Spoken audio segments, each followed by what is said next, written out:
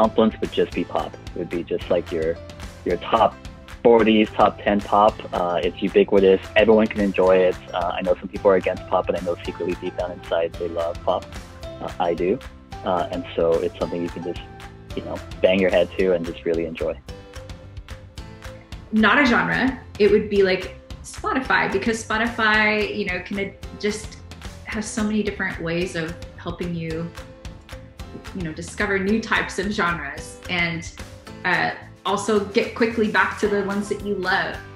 Uh, and share out, you know, your favorite playlists and things like that. I don't see Confluence as having a single genre at all. No way. Confluence would be classical. Like if I think about a quartet or something like that, where it's all the different pieces and all the different teams kind of playing their own tune, but coming together to create something really beautiful. Confluence is definitely a place where uh, people were brought together to share ideas and information for that. And then you see a lot of these uh, diverse thoughts, um, interactions happening. And uh, for that, I would choose classical music